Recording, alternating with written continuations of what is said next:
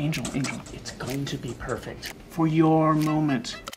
Layla's fall from grace was all anyone could talk about at the staff meeting. They think this is a home decor piece. This night will not fail. Oh, This night sorry, who are you? will not fail.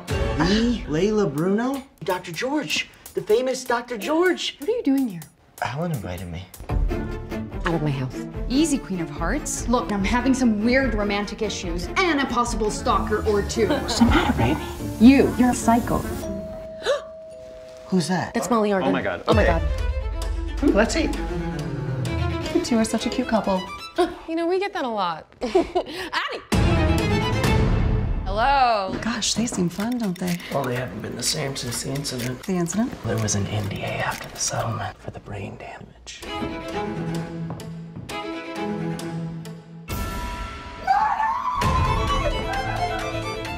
Is Helen okay? Helen is dead.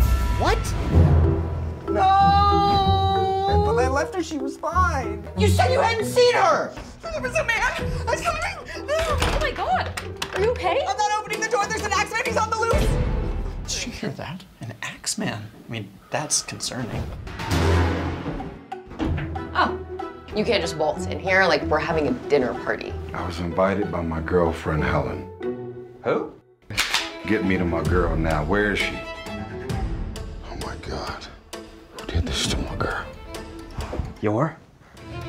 I don't trust none of you motherfuckers. Molly is the one who found her in the closet, actually. And Are you seriously trying to implicate me? And you. What? Me? We're gonna fight. If we want to survive, I gotta be this guy's best friend. All of y'all are suspects. Finally ready to tell us the truth?